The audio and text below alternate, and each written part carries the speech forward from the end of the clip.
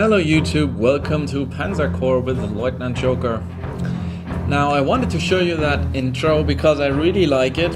I think it's very well done because it shows kind of a little bit uh, innovation in using these 2D silhouettes to make a nice battlefield, which pretty much shows you what this game is about. It is a 2D game, but it is still very, very immersive. And to give you an idea what the gameplay is all about, I'm going to start uh, the tutorial campaign. Welcome to our Dresden training grounds, Herr Oberst. You are here to master a revolutionary new form of warfare, Blitzkrieg. Over the coming days, we will instruct you on the rules of warfare and test your mettle in several training exercises. Should you successfully complete your training, you will be given command of a newly formed Panzer Corps but first, you must earn it. For your first training exercise, you will use the forces at your disposal to seize control of your objectives. In all of our training simulations, the cities and airfields you control will be marked red, while cities your enemy controls are marked as blue. Once you have taken control of all primary objectives, the exercise will be complete. You may wish to destroy supporting units located adjacent to your objectives to make the battle less costly for your forces. But remember that in Blitzkrieg, a slow victory is no victory at all.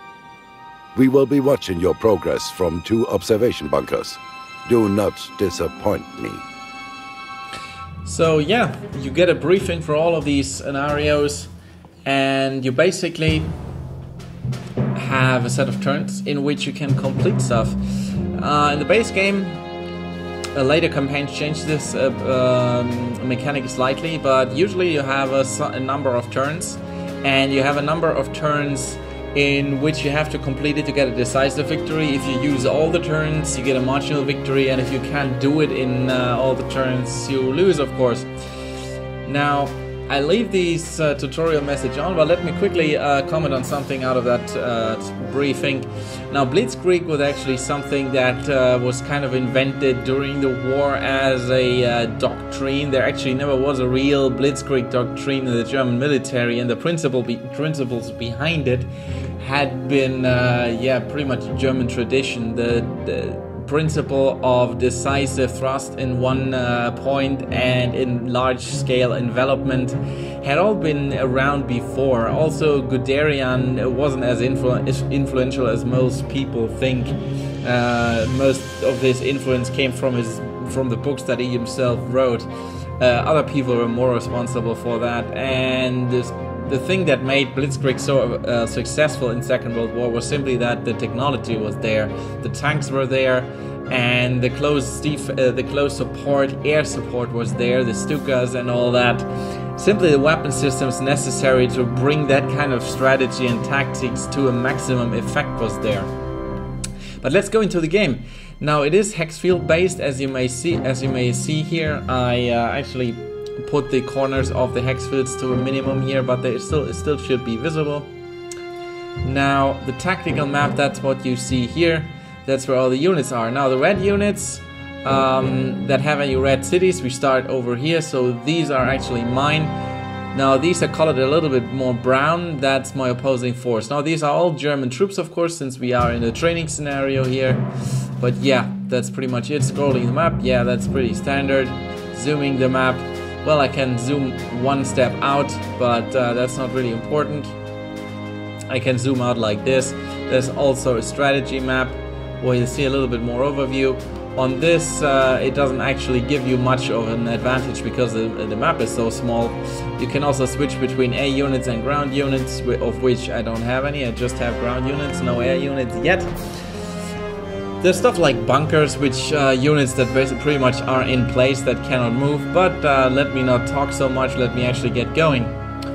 Now units have a certain spotting range, which I uh, can actually show you here now that uh, symbol over there is spotting. So this unit only sees one hex, so it sees everything here, anything further it can't see.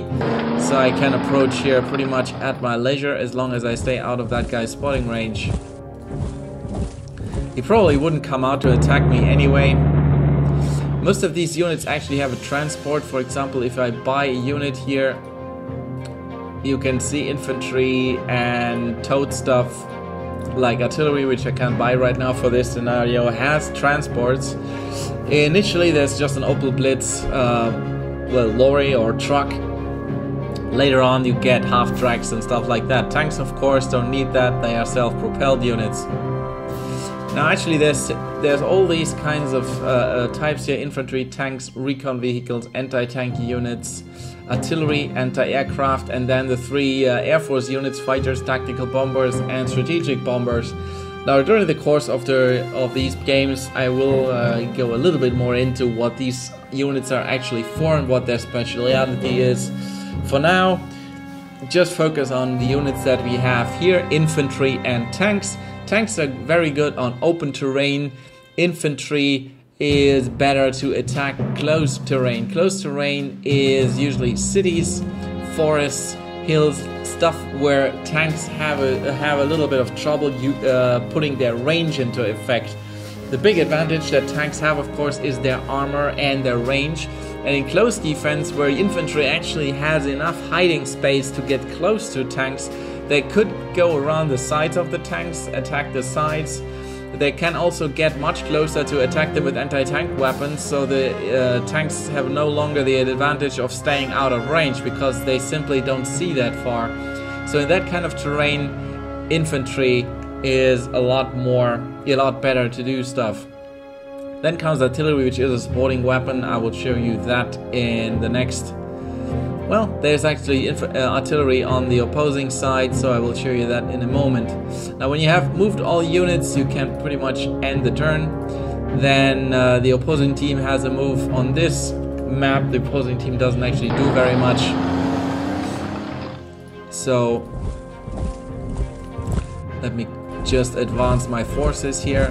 Now, the reason why I'm not attacking yet will be apparent in a moment. And again, the opponent doesn't do anything in his turn. Now I'm going to attack here in this way because I want to get more forces onto the city. Here, mass attack. There is a value that is marked efficient uh, initiative, which is this one, which for tanks basically means uh, what kind of range they have to be in, uh, able to engage first for infantry, it has some other properties uh, like their efficiency and their training and, and, stuff like that. Especially in close terrain, range doesn't play any role. But ini initiative basically means who shoots first. Now, if you attack simultaneously with several units from different direction, you get actually an initiative bonus over the enemy, so you actually have a much better chance of defeating them. So it is very uh, of a very big advantage to use that as often as you can, especially in close terrain, because in close terrain, especially in close terrain, every other terrain allows that too, but close terrain to a more degree, units can entrench, which you will, can see from this little bit of shovel here. They have five entrenchment that goes up to eight, and entrenchment gives certain defense bonuses and also gives the enemy a chance to achieve rugged defense, which is simply a very, very strong uh, defense, which gives a lot of bonus uh, boni to uh, the defending unit, and you can uh, reduce that chance by going for a mass attack. So let me do that here. There, there you go. That was a rugged defense. So I'm probably gonna take quite a few losses here. Yeah. Unfortunately, I didn't have enough of an advantage, but now I seem to have the upper hand. And there we go. That unit is gone and I can use this unit to take the city. I have moved now. This unit took a lot of losses. That was a little bit of bad luck, but that's also part of the game. There's a certain element of chance involved, which I find on this abstract level um, very, very yeah positive because you can actually turn that off and you get kind of a chess mode where everything is predetermined so anything that you get as a battle preview will actually happen. On this kind of an abstract level these unit icons represent roughly something like a red like a battalion sized unit. So an infantry battalion going against another infantry battalion that will never just go as planned in my opinion. So i like a little bit of random turns involved here So tanks can often be used because of their speed to go around units and just attack from behind. Yeah, it's warning me here that I shouldn't use the tank for close terrain attack, but I'm not planning to. I'm actually going to attack this artillery. Now a property that artillery has, uh, which is why it is good that I forced it to retreat here. I'm going to go into that how that works in a minute Artillery, if you attack a unit that has artillery next to it, artillery will shoot at you first in a kind of the defensive mode. Now on the offense you can use artillery of course to reduce entrenchment that gets reduced with every attack. Now since a unit cannot uh, counter a ranged attack, artillery can pretty much shoot as a unit without that unit being able to shoot back. Now ranged attack is basically what artillery is for. I cannot buy one so I have to show it to you here. Now this is range. Now normal units have uh, range 0, that basically means they can only attack something right next to them and those can shoot back. Everything larger than 0, uh, 1, 2, 3 or more means you can have a ranged attack. Now a ranged attack of 1 can also shoot just one hex next but as a ranged attack, that means the opponent won't have a chance to shoot back because you're not shooting from much distance, but it is more distance than an immediate contact attack. So also artillery has a property that is stronger than with other units, although all unit units cause it, which is suppression. Now you can either damage a unit uh, in which case the uh, health points go down, or you can suppress a unit. Now, and for normal units, that means if in a combat you suppress certain number of units, those units won't be able to shoot back. Um, so, a number a unit that causes a lot of suppression can go in and cause a lot of damage without the enemy being able to shoot back with a lot of what it has left. Now artillery has the property that whatever suppression it causes actually remains on that unit until another unit attacks. So it is kind of a preparatory attack. So you attack first with artillery to suppress the target and then you go in with your regular troops. Now it tells me here that I can actually reinforce these units and ask for uh, resupply. So I could put these units back on 10 strength, but uh, this is my last target that I need to take, so I will uh, refrain from that because it will actually cost me prestige. Now in these tutorial scenarios, which are very very easy, I don't really need to be that conservative on my prestige values, but I'm gonna do it anyway. Now that artillery saw my tank here, so it attacked him. He could have attacked this one and caused a lot of damage because units in trucks are very vulnerable, but it didn't have spotting on those units because the artillery also sees just one field. Now tanks are very very uh, well protected against artillery attacks, so I wasn't very uh, worried about it attacking my unit. Now that the artillery protection is gone, I can move in here and attack again from several directions. And I get a rugged defense again. Now I'm very unlucky with this now. And another rugged defense. Jesus Christ, I'm really having bad luck here. But I don't have any artillery available in this scenario, so I can't really do much about it. Should I actually be attacking? Yeah, I could try. Yeah, that was actually a good result.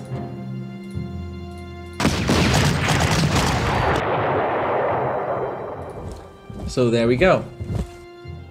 These are victory hexes, these glowing hexes. Those are uh, the ones that you need to take to win the game.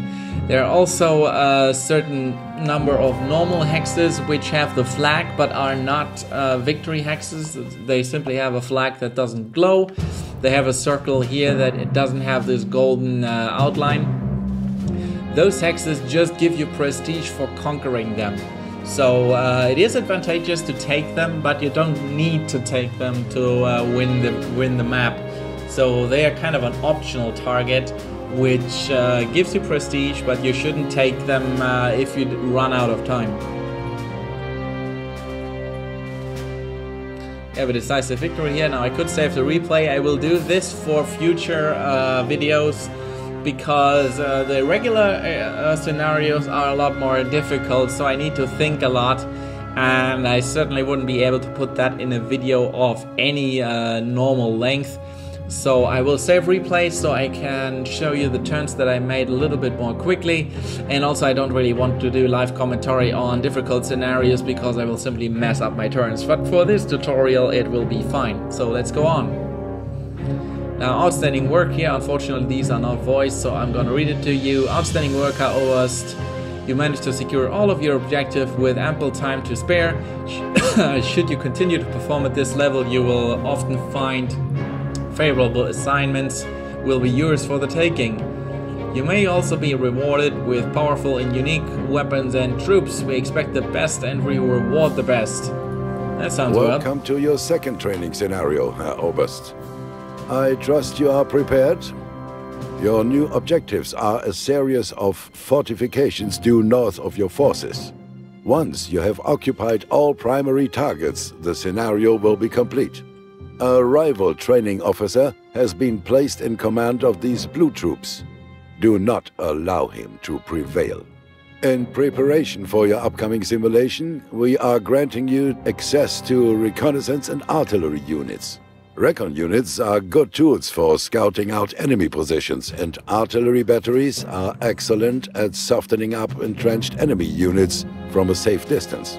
You have also been granted additional core unit slots that you may fill with units of your choosing. Your core units will stay with your command from scenario to scenario and throughout your campaign. If you lead your troops well, they will serve you throughout your career.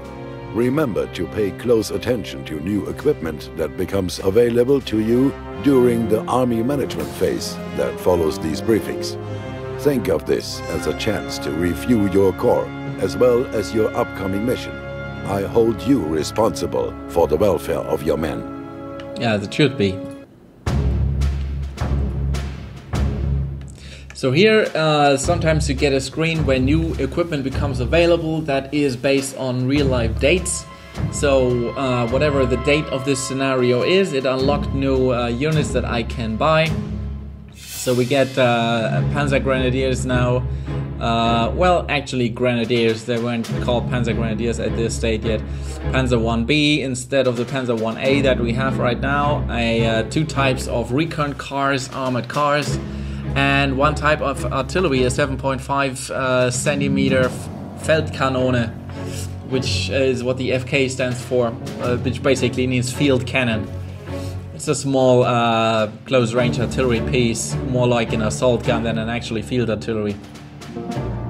So the deployment phase is something that uh, happens in every scenario after the first one. Now, in here you have the units in your core.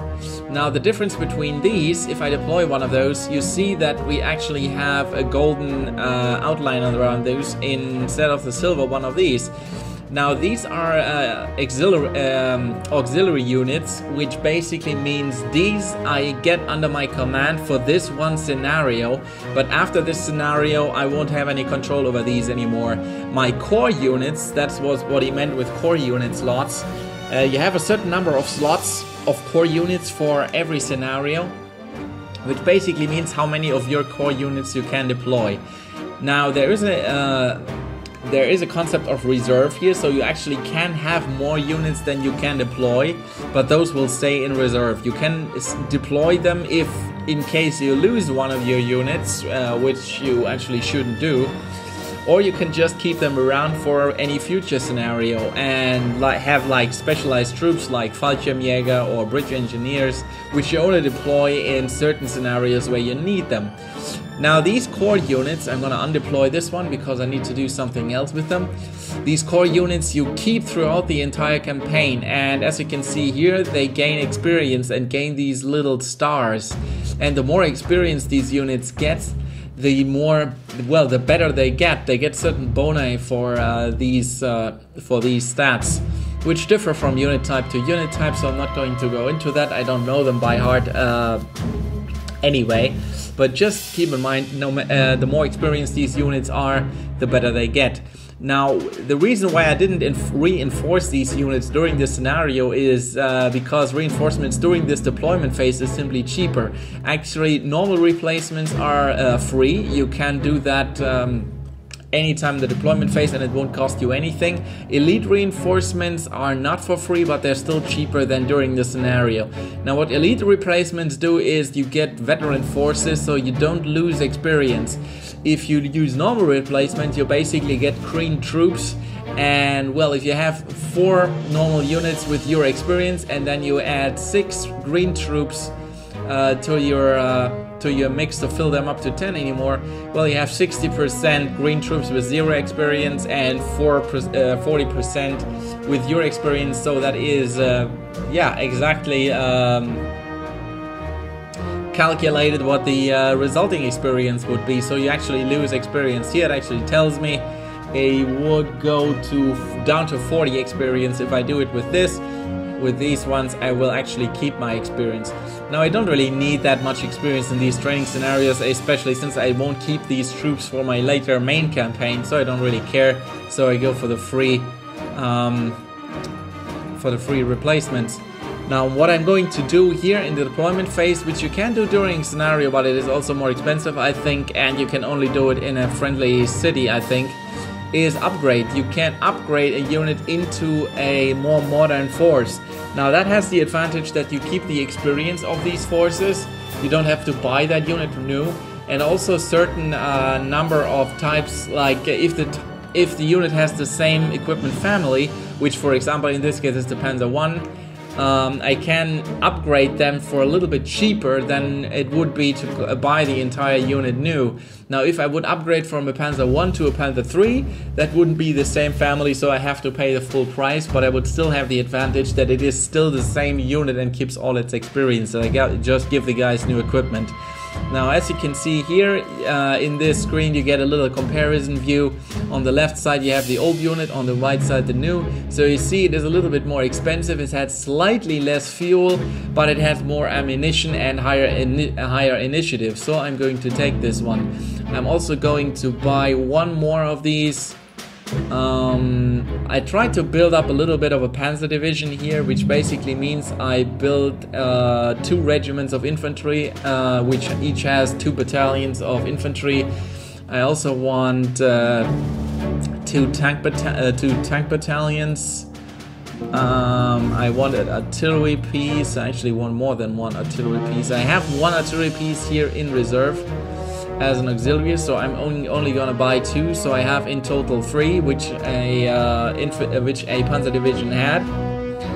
And yeah, what I can buy one more actually. Hmm, well, I could use a pioneer uh, battalion, but pioneers are not available, so I'm going for a grenadier. I'm also gonna motorize all my units so they can actually move further. So yeah, I'm pretty happy with this. Units in reserve 9 actually. 1, 2, 3, 4, 5, 6, 7, 8, 9. So yeah, I can actually not deploy all of these, but I don't care. I will be able to deploy them in the next phase. So let me first deploy all my uh, tanks here.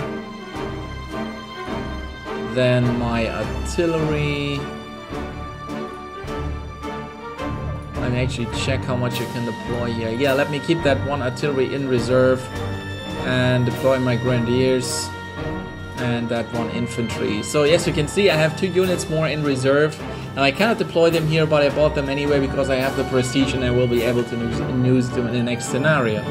So let's go ahead. I didn't buy another recon car because I got one for uh, for free here as an auxiliary force. Now the recon cars have recon movement, which means they can actually move forward and if they have any movement points left they can move back so they can take a peek and then quickly retreat but they didn't see anything so I can move them forward again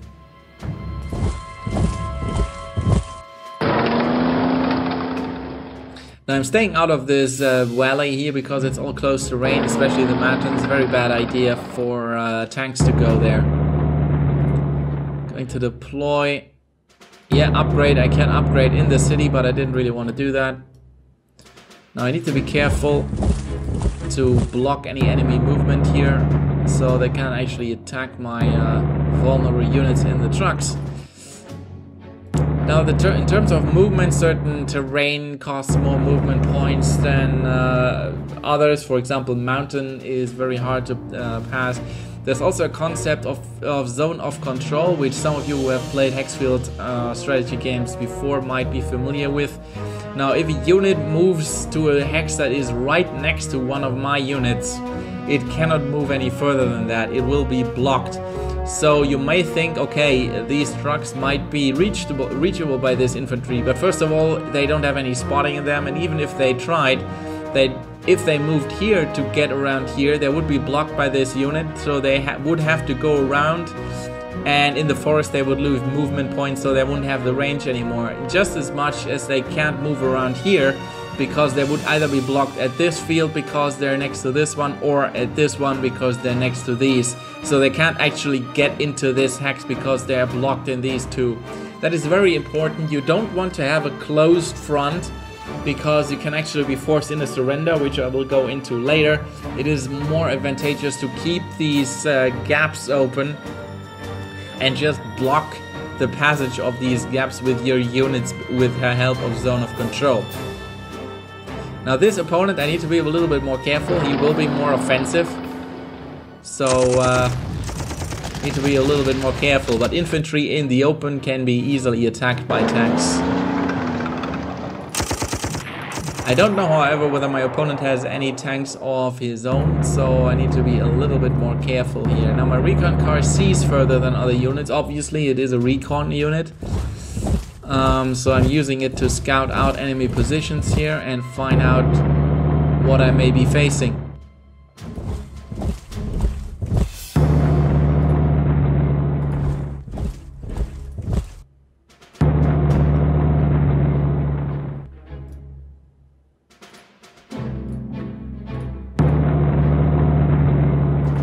Still nothing.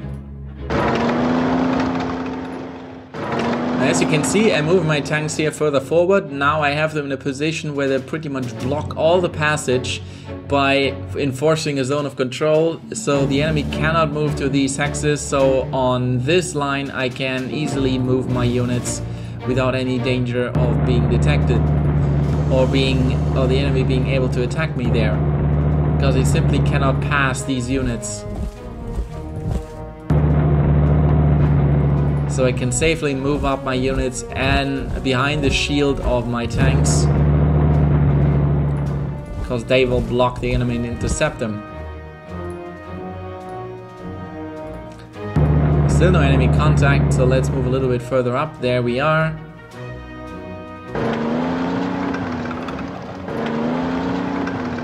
I'm expecting an armored counter-attack here at some point, so let's advance here a little bit more carefully.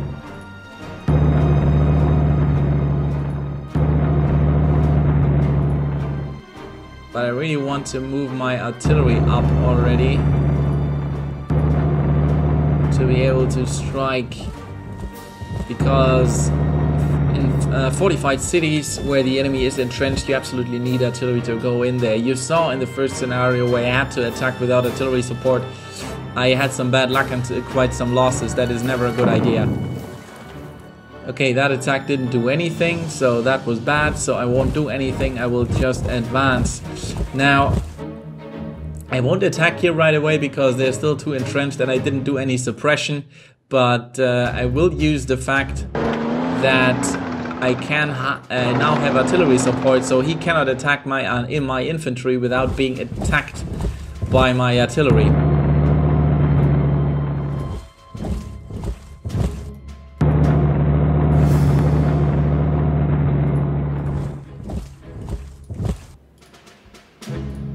It all often uh, is a virtue to stay patient and just move your units into a position so you have a good basis for attack. Never rush too much ahead. You should always have support. You need to uh, get long-term suppression. That is what I told you. Artillery it long-term suppression. Um, you should always uh, work with your units together. They need support of each other. Uh, tanks are not very effective alone because they can only work in open terrain against fortified positions or cities they don't have any chance. Also, they need artillery support if they get attacked by other tanks, so you always want to uh, make your forces support each other.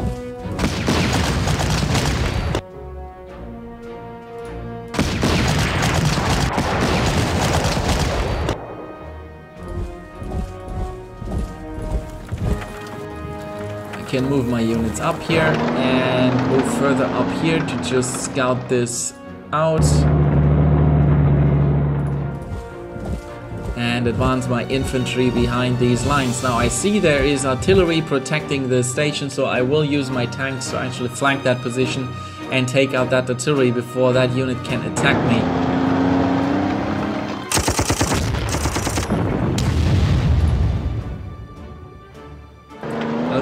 Early tanks, of course, are not, these early panzers are not very effective yet, but that will change later. Now I won't advance a lot here because I want to stay in an artillery shield, so I will move very, very carefully here. I have time enough. As you can see, I only have half the turns gone. I'm not in a rush at all. Artillery actually retreats, that will help him.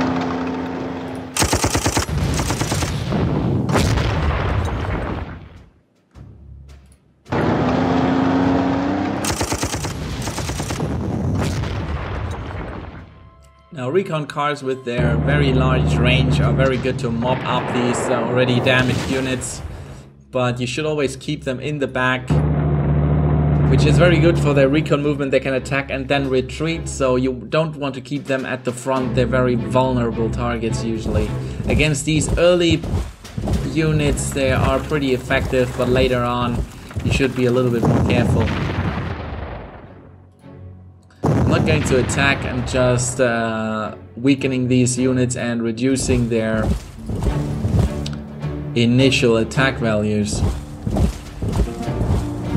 Get one infantry unit be, uh, behind them so I can attack also from the back and get a little bit of mass attack bonus going here. Just moving these tanks here in to get more mass attack bonus. I'm actually not going to attack quite yet. Unless I get some good suppression going on here. Nah, not really. Now let's try it anyway. Oh, that was a good attack. Took a risk here, paid off.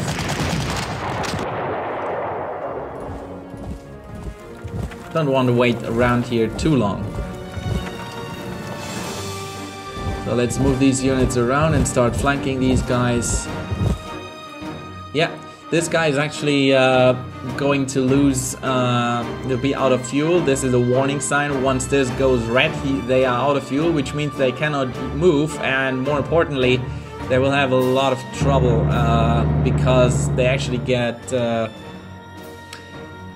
get worse defense values once they're out of fuel, which kind of makes sense if you think about it. So you always want to make sure these uh, guys are under supply. They can also run out of ammunition, which is uh, difficult for certain units that are low on ammunition in the first place. So we always want to keep an eye on that. That was a rugged defense, but still uh, wasn't enough to keep this unit from being destroyed. And let's see whether we can mop up this last one as well. Another rugged defense. I don't care. I want to mop this guy up now.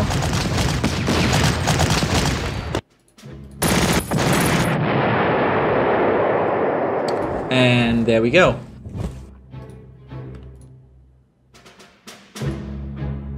Excellent. Once again, you have demonstrated the skills to not only secure your assigned objectives but do so well in advance of the time allotted. Now, shall we proceed to your next training simulation?